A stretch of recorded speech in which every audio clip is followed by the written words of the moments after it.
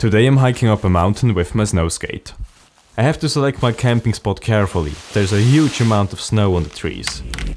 Also, my campfire drowns itself in the snow. There's so much smoke. I sleep, okay, it was a bit cold, but anyway, the next day I don't have to walk. At least not all the way.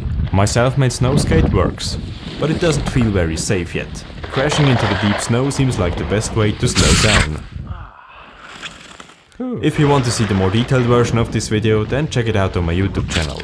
See you over there.